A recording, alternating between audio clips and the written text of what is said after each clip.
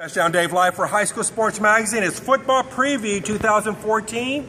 I'm with the Donna head football coach, Ramiro Leal. Coach, what can we expect from the Redskins in District 32-5A? I think you can expect nothing but good things. We've been practicing real hard. We had a great off season, and uh, we have expectations always high in Donna, and we're, we're looking to fulfill all those expectations. We now have a huge tradition here in Donna, and we're ready to protect that tradition this year. You know, players to watch here with the Redskins. I know there's photo day right here. What's going on with the new players, new faces, new district? Well, I think what we need to do is this first two scrimmages. We're trying to find our identity, fill in the puzzles to the you know fill the pieces to the puzzles. There's still a couple positions that are in question, and we're just trying to figure out who's going to fill those those positions. So right now, all spots are open. We just got to see who's going to be starting in the first game.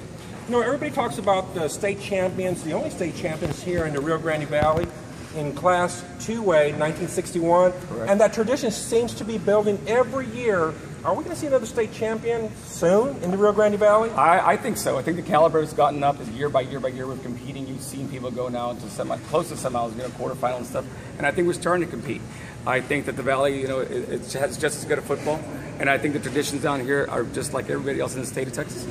District 32-5A, a lot of tradition. PSJ's in there, PSJ Southwest, and then of course a couple of Brownsville teams, and then of course Edcouch-Elsa. Everybody's talking about Edcouch-Elsa, Donna Redskins, Donna North Chiefs. Well, I think the big thing that's going to happen. This is the first time we're going to be playing. I think will be Mercedes and Edcouch. First time in the 20 some odd years. I've And been that's here. a lot of excitement right there. Yeah, the mid mid valley rivalries. We haven't had those in a long time. We're really looking forward to playing those games. Okay, so there you have it. This Touchdown Dave live for football preview for High School Sports Magazine 2014 with the Donna Redskins.